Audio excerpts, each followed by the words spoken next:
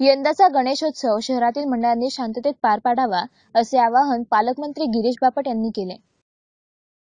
Shivajinagar police मैदानावर शहरातील गणेश मंडळाच्या पदाधिकाऱ्यांची विशेष बैठक घेण्यात आली होती.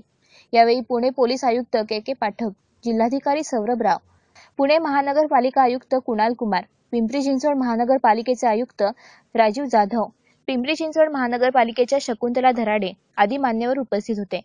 गणेश मंडळांवरील पोलिसांनी गुन्हे मागे घ्यावे. मंडप उभारताना प्रशासनाने तात्काळ परवानगी द्यावी. ढोल ताशा पथकांमध्ये अधिकाधिक वाद्य वाजवण्यास परवानगी मिळावी अशा प्रकारच्या सूचना गणेश मंडळांनी प्रशासनासमोर मांडल्या. यावेळी गिरीश बापट आणि पुणे शहराचे पोलीस आयुक्त के के पाठक यांनी त्यांचे मत व्यक्त केले. गणेश मंडळांच्या बाबतीत यावेळेला काही निधी आपण माझा वाढदिवस होता तर आम्ही जवळजवळ एकावन्न हजार रुपये हे कोणाचे हार न घेता एका गावाला प्लॅस्टिकची प्लॅस्टिकचं टाकी देण्याकरता केलं. तसं आता आम्ही प्रत्येक मंडळांना भेटून आणि आत्ता जवळजवळ वीस एक मंडळं तयार आहेत. हे गावातल्या जनावरांच्या चाऱ्याकरता सिंथेटिकची हे घेण्याकरता किंवा जलशिवार करता. आत्ता एक पतपिढी आली त्यांनी कॅम्पातली त्याने सांगितलं मी दहा लाख रुपये आमच्या पतपिढीचे देणार आहोत.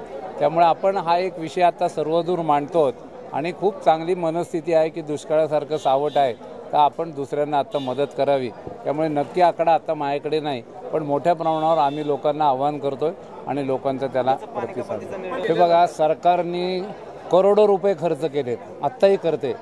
मुलांची फी भरणं लाईटचं बिल देणं चारा टँकर अनेक गोष्टी आत्ता केल्यात. काही हजार कोटी रुपये सात हजार कोटी रुपये खर्च केले.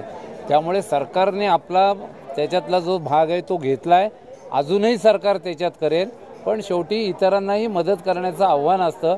जसं दगडूशेठ गणपतीने आत्ता पुढाकार घेऊन गाळ काढण्याचं काम केलं. फार मोठा पाण्याचा साठा आत्ता तुम्हाला सांगतो मी वाचला. तसं जलयुक्त शिवार असेल किंवा बाकीच्या योजनेत सरकार आणि जनता यांचा एकत्रच सहभाग असला पाहिजे. कंपल्शन नाही की तुम्ही इतकं करा तितकं करा. त्यातनं मानसिकता लक्षात येते. आणि म्हणून आपण त्यांना ते आवाहन करतो. सरकार आपल्या भूमिकेपासून कुठेही मागे नाही. किंबहुना काल मुख्यमंत्र्यांनी सांगितले वेळ पडली तर कर्ज उभं करू पण आम्ही कोणालाही याच्यापासून वंचित ठेवणार नाही.